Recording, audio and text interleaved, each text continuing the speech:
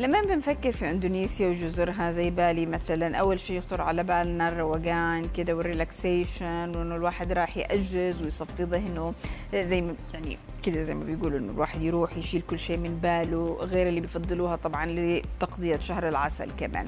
وحقيقة طبيعة البلد وجوها وكده كلها على بعضها بتعطي انطباع الإجازة أكثر من العمل. لكن يبدو أنه إندونيسيا بتحاول تنعش اقتصادها خاصة أنه فترة كورونا أثرت فيها جدا وطلعت بفكرة مغرية لعشاقها. وخاصة هدول اللي كانوا أو اللي دايما بيزوروها وبيقولوا لك بيقولوا إحنا بنفكر نطول الزيارة أو إنه آه يا ريت نقدر نعيش هنا. فإندونيسيا أعلنت عن توفير فيزا لكل أحد حابب يعيش فيها بشرط إنه يعمل عن بعد. هذه الفيزا اسمها تأشيرة الرحالة الرقمية.